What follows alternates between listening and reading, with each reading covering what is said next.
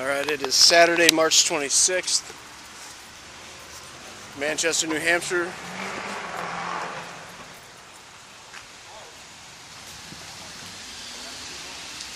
We got a uh, police employee with vehicle 63441. Was there a victim tonight, sir?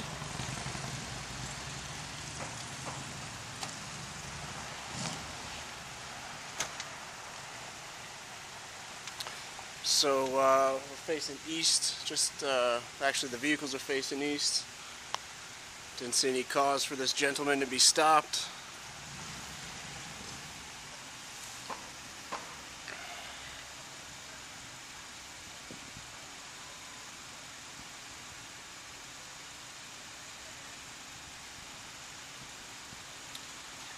For whatever reason, this uh,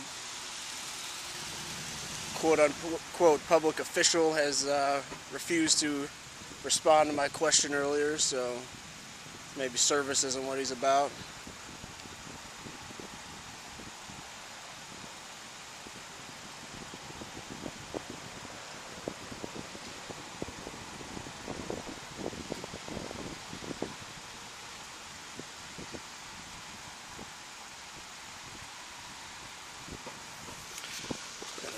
Clip my camera in my jacket for a moment.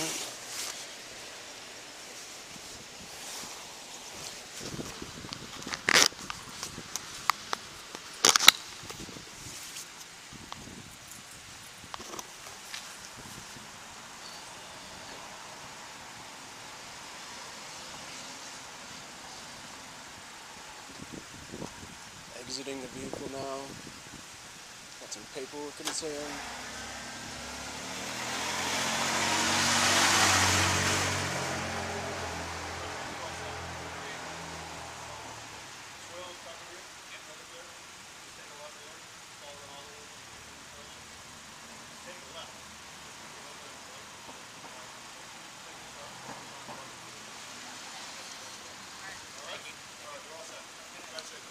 Can I get your name and badge number, sir? Can I get your name and badge number, sir?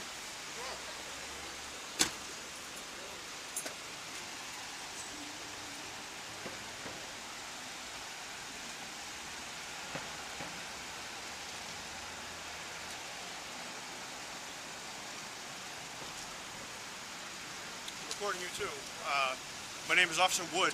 I work for the Manchester Police Department. Okay. And my badge number is 116. 116. Okay. Yep. Was there was there a victim tonight? Can I Is ask? it any of your concern? Certainly it is. This is a there's a I don't, I don't have community time here. to chit chat with you in the middle of the street. I'm going to get back to my job. So I appreciate you checking up on us, and uh, I wish you the best. Well, I- hope you're safe. Thank I, you. I hope part of your job is to uh, not victimize people that haven't victimized others, and that's a concern of mine. That's why I asked you these questions. So I just wanted to share this video. I captured it about an hour ago.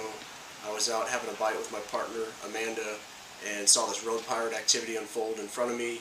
Again, I didn't see anyone victimized by the person who was stopped, yet he was given a ransom note um, by this person who identified himself only as Officer Wood.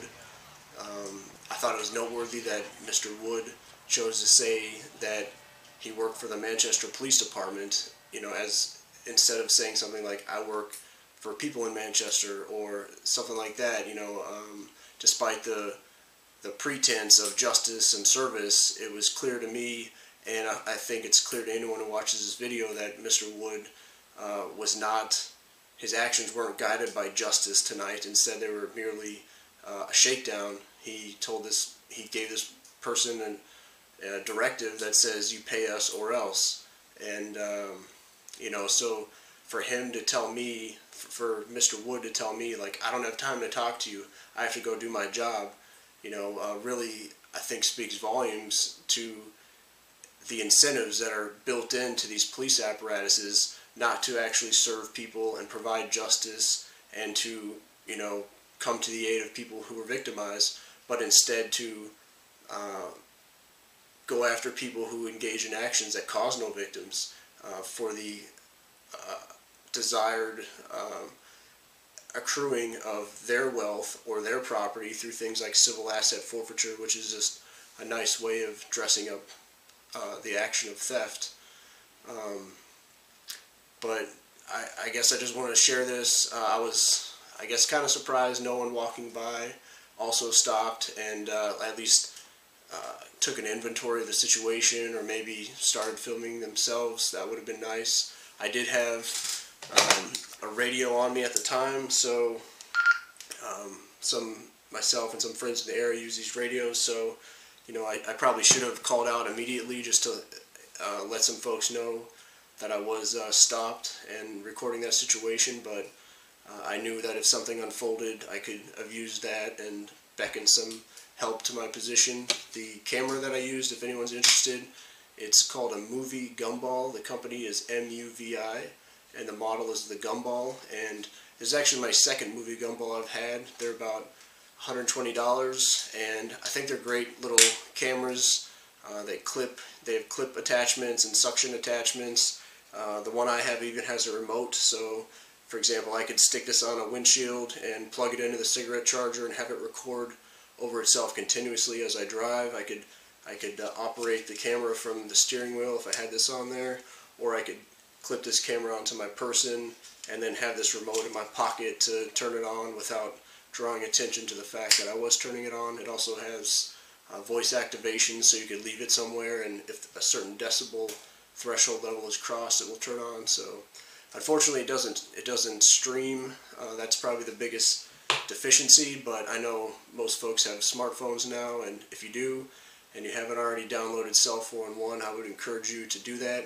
Um, it, it both streams your content safely off site and it helps you create a network that you can uh, turn to and uh, help in times of need. So the more we can make uh, people like Mr. Wood and his colleagues who uh, thrive on uh, us versus them mentality, the more we can move away from them and their apparatus and instead uh, move to models where we act out of love and Uh, concern for our neighbors, the better off we'll all be. So, till next time, y'all. Peace.